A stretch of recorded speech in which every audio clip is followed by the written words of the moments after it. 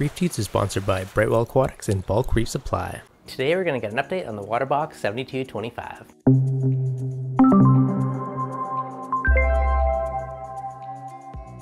What's going on guys? Devin from Reef Dudes. So today we are doing an overdue update on the Waterbox 7225. It's been a month or two since I've done it. A little bit of maintenance, few changes, so let's get to it. So if you guys been keeping up on my videos, a month or two ago I did a bit of a comparison on the G6 Blue versus Pro. If you saw last week's video on the how to upgrade, you will have guessed that I did upgrade them all to match now. So I'm now running G6 Pro clusters and upgrade all my G5s. Now one really cool thing that I noticed so far if you take a look at these zoas, they are now growing on the underside of the rock, which is absolutely crazy.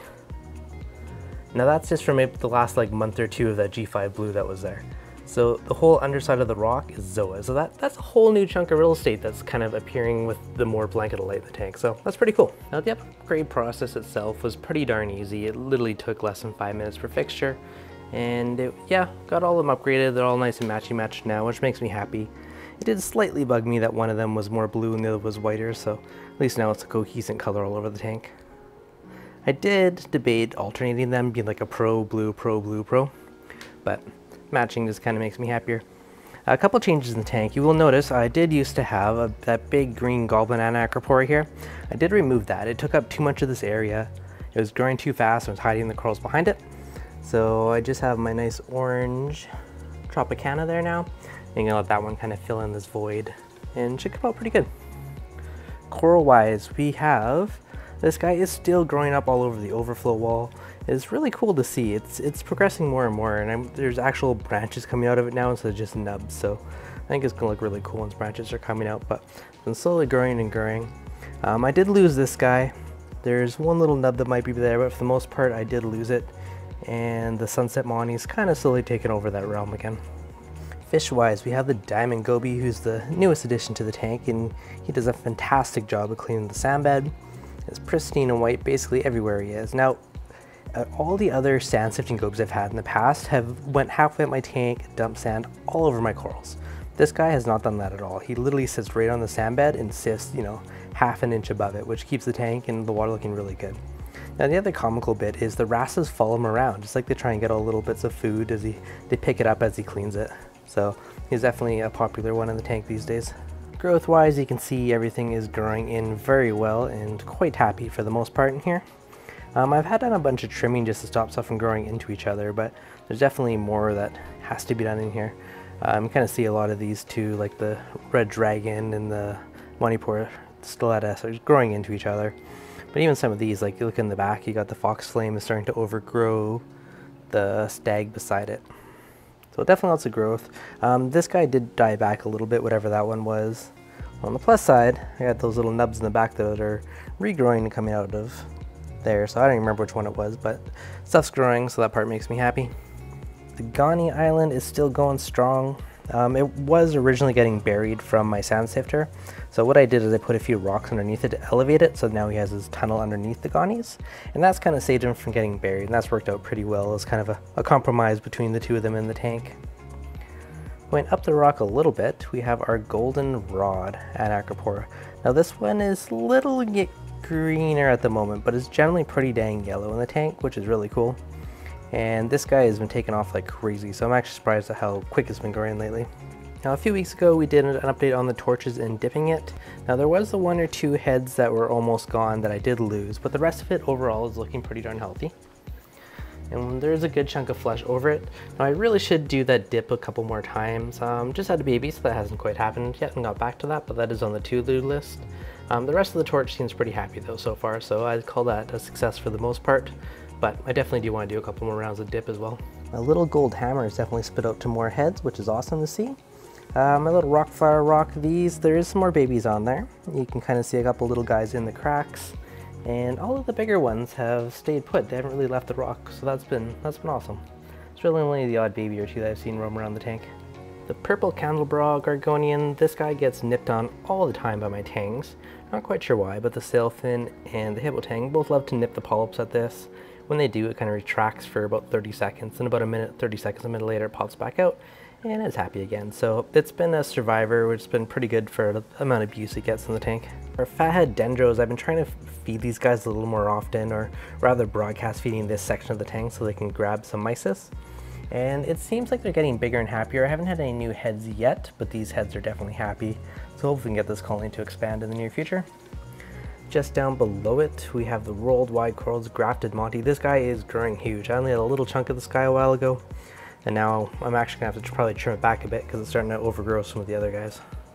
Tiny little Marvin the Martian, slowly growing, getting some branches in there. That one has, hasn't done much for quite a while, but it's finally starting to take off. Now on the stair side, you get a whole different perspective of the tank. And I don't necessarily show this one off enough because it's a little bit harder to get to, but there's a lot of cool growth and really cool perspectives over here. Starting in the back corner, we have a bunch of just random chunks of Euphyllia, frog spawn, hammers, bicolor hammers and whatnot. Coming over, we got some of those ultra citric, citric and those guys have been growing pretty good. Do have little bits of cyano in here, but not too bad overall.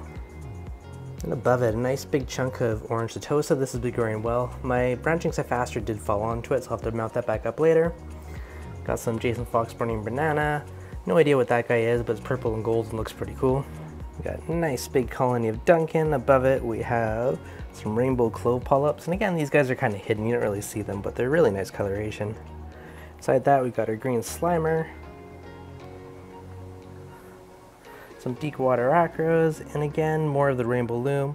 Really cool colors in this guy. I'm actually starting to get some oranges and greens and purples and more colors out of it, which is pretty cool. Now, if we open up the side of the tank, we have my hand in here, it turns on the light. I did add some little motion sensor lights inside, which makes things nice and easy to kind of see what you're doing inside.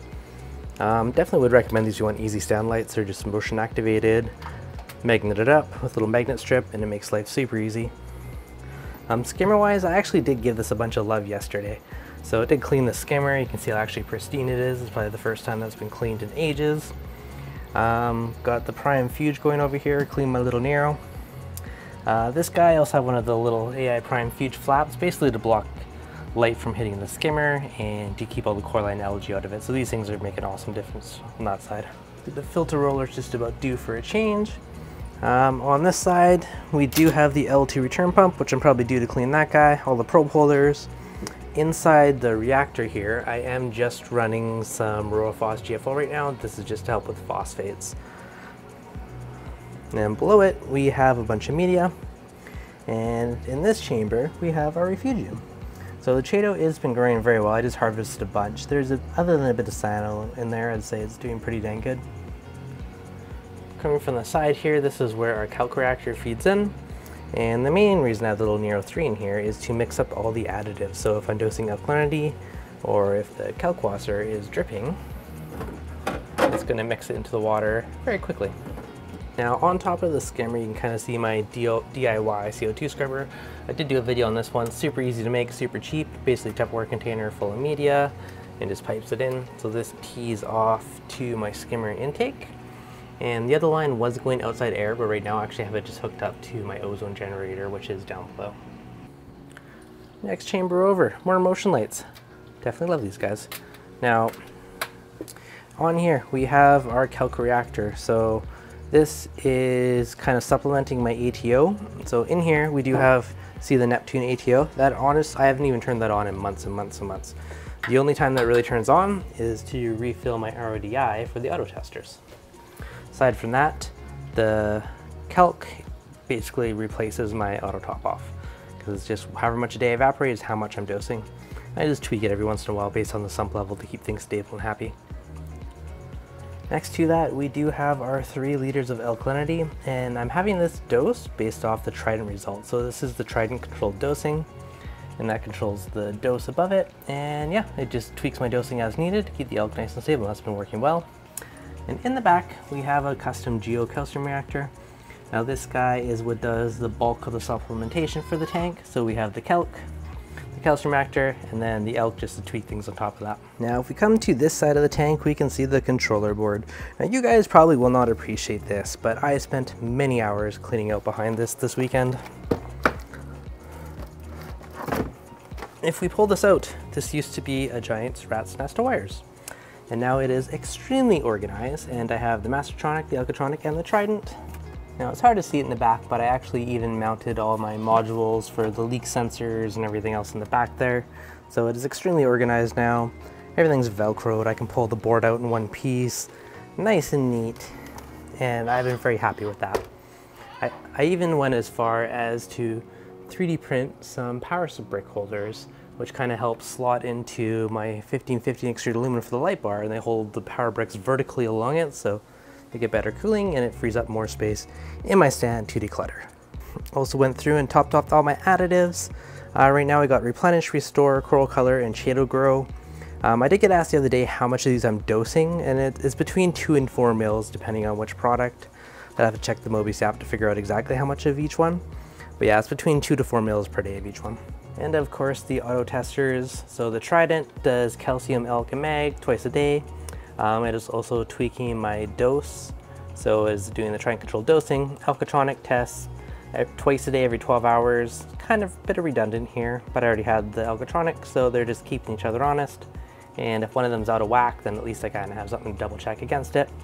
And Mastertronic, this is test calcium, magnesium, nitrates, and phosphates every single week, and it does nitrates and phosphates twice a week. I do have alkalinity reagent in there, but again, I haven't really been using that function since I already got alk testers, so again, a little redundant. And to the right of the tank, you'll see this little jug here. This is the space saver container. I have one on the other side, which has RODI for the auto testers. Now this one is full of the Alkatronic reagent, so this lasts quite a while with it. So this little gap actually worked out pretty well for wires, power bricks, uh, reagent containers, got the dry sides for the MP60s. Now another question I get asked all the time is what do I do for flow in the tank? Now if you guys can see I do have two MP60s on here. I have one on either side of the overflow and this is all I have for flow in the tank. This provides flow for the entire tank. Now I often get asked is that enough? Do I have any issues? So far I have zero issues with flow in the tank and I have a lot of coral in here. Like one day, you know, maybe I'm sure it's going to grow in too thick and not be enough. But overall, you know, I got nice flow with the torches and we got decent flow with the Zoas. Now I also did kind of plan my placement around that. If you're looking, it's very acro heavy in the front half of the tank and it gets lighter on acros. I definitely still have chunks of them all over here, but I do tone it down further down the tank. And that's actually worked out very well for me. Now looking down the long end of the tank, um, you can definitely see the clarity is still pretty good. It's not quite as pristine as before I had the Diamond Goby. Um, the first two weeks it was definitely a little bit of a sandstorm in here as you sifted through the sand and then it cleared up and it was actually really good. And I'm gonna say it's been awesome for the last week or two. Now it's got a smidge more cloudy the last little bit, only because he started to transition. He basically cleaned from about there over. And now he's starting to do this chunk of the tank. So as he goes to a new area, it seems like he finds new little particles to kick up. And then once he kind of runs out of them, the sand's pristine, then I get back to crystal clear water again.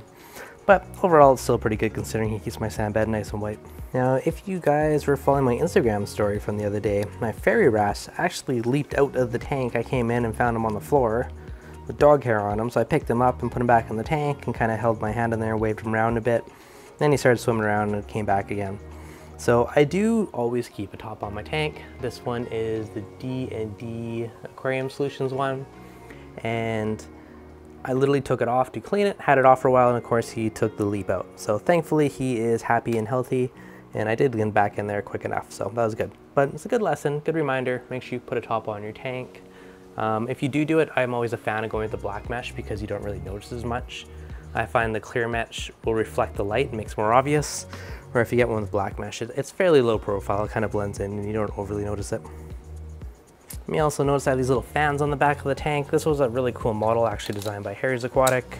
So I modified a little bit to fit on my tank. But I have two decent sized 120 mil Noctua fans in there. And this basically just blows air across the top of your tank. And with the heat, it does help cool it down quite a bit. So I've been letting those run most of the time and it's a fairly stealthy, low profile way to kind of help cool your tank. Coral wise, you know, there's been the odd little hiccup, but for the most part, I'm pretty happy with everything inside of the tank.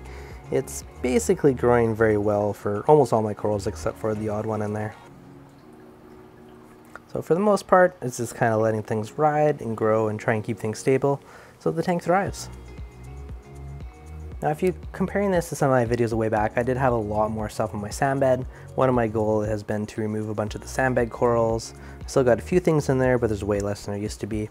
I do like that look of having the pristine sand bed and most of the corals mounted on the rock, so slowly kind of working towards that one. A bit curious to hear if you guys have a Peninsula tank, what you're rocking for flow or how you set yours up. Did you do something similar, do something different? Let me know in the comments below.